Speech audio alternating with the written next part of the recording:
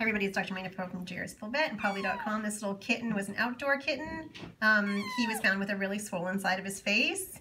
Um, when we shaved it off, there was a perfectly round hole. And whenever I see a perfectly round hole, I think bot fly.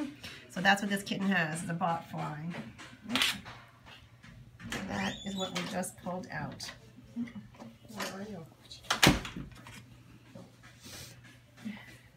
Right there. Ew. So that's a, yeah, so bot fly, which is cuterebra. Um, so whenever you have a cat with, with severe swelling from a wound and a perfectly round hole, you've got to look for the little motion of a bot fly. And then what we did was um, shaved it up, put some alcohol on it, and then you just got to wait for him to stick his head out, and then you pull him out. So this little one will be feeling much better, and that inflammation and infection will resolve. We're still going to give him an antibiotic because he's got a little bit of upper respiratory infection, but this was the culprit. So he will be much better now.